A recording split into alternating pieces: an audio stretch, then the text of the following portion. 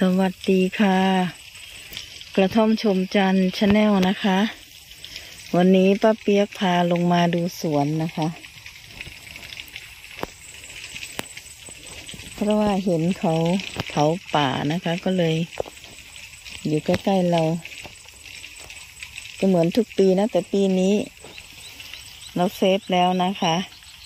แล้วฝนตกมาพอดีก็ทำให้หญ้าเกิดเขียว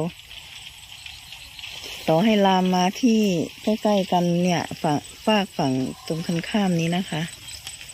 ข้างรั้วของเรานี่หญ้าแห้ง แต่มันก็มีหญ้าเขียวเสริมบ้างแล้วนะคะ เพราะฝนตกนั่นเอง นี่ถ้าฝนไม่ตกมาเลย ตอนนั้นนะมันคงจะแห้งมากกว่านี้ แล้วมันก็คงจะไหม้แบบรวดเร็วนะคะ อันนี้ก็ลงมา เราก็มาลดน้ำต้นมะม่วงเอาไว้นะคะ ในระดับหนึ่งเผื่อมันลามมาจริง ๆ มันก็คงจะเบาลงนะคะ โอ้โห ดอกมะม่วงดกมากเลยนะคะมะม่วงหิมพานต์ปีนี้ดอกดกมากๆเลย นี่ถ้าเขาติดลูกนะคะ ก็คงจะพอ พอได้มีรายได้เสริม อาจจะพอมีรายได้เสริมมีตังค่าขนมให้หลานไปโรงเรียน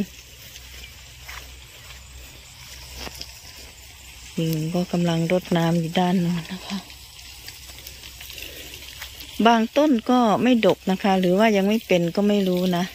แต่บางต้นนี้ดกมากเลยนะคะ เดี๋ยวไปดูต้นที่ดอกดกมากๆ แล้วก็มีลูกดกด้วยนะคะ ต้นนี้ก็เหี่ยวมาก แห้งนะคะ โอ้ย้อนแสงโดนแสง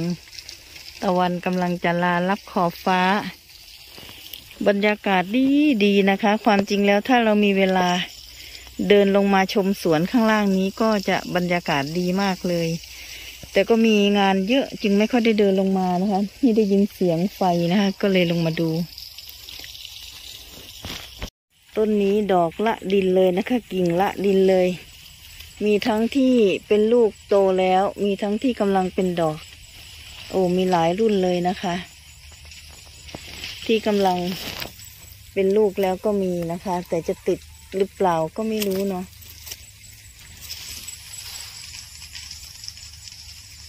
เนี่ยนะคะกำลังเป็นลูกแล้วก็มีเป็นดอกหลายระดับนะคะ ตรงนี้ดอกแก่ ขึ้นมาตรงนี้นิดนึงก็ดอกกำลังจะบาน แต่พอมาตรงนี้ ดอกกำลังตูมกำลังเป็นดอกอ่อนๆนะคะ แสดงว่ามีหลายรุ่นเลยนะคะสำหรับมะม่วงนะคะ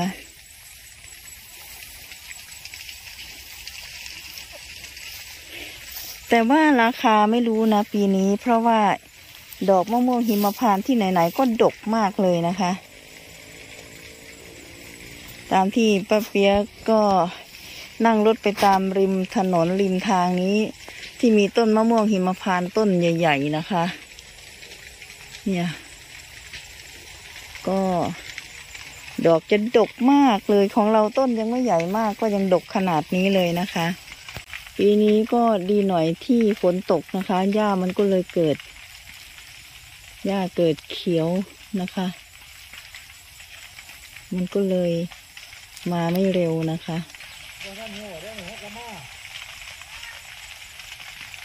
ก็เปียกกับคุณลุงไปซื้อของนะคะ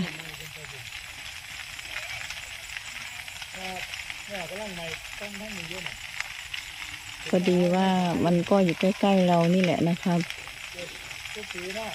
คุณลุงก็เลยมาเอาน้ำรดน้ำต้นไม้เอ่อเตรียมเตรียมความพร้อมเอาไว้นะ อยู่ไม่ไกลนะคะ อยู่ใกล้ๆนี่เองมันไม่มาทุกปี แต่ปีนี้มันไม่เร็วนะคะ มันมาไม่เร็ว เนื่องจากว่า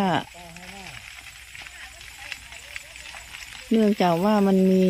หญ้าเขียวนะคะ มันมีหญ้าเขียวเกิดขึ้นแล้ว แล้วก็พี่น้องก็ปรับนา ไถพรวนไถอะไรเอาไว้ มันเลยไม่แรงมากนะคะ มันก็เลยมาไม่เร็ว แต่เราก็ต้องมาระวังไว้ก่อน คุณลุงก็มารดน้ำต้นไม้รอบๆบบริเวณสวนเราเอาไว้ก่อนนะคะ นี่ถ้าได้อยู่ระวัง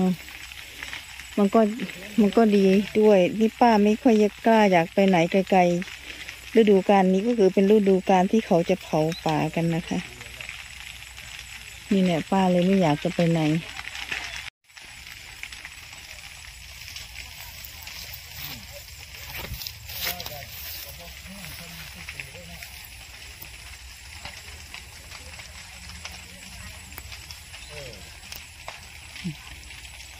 แล้วตอนนี้เขาก็เผาตอนค่ำด้วยเนาะปีที่มันไหม้หนักๆนั้น จนสวนของป้าเปียกไหม้หมดก็คือมันเป็นตอนกลางวัน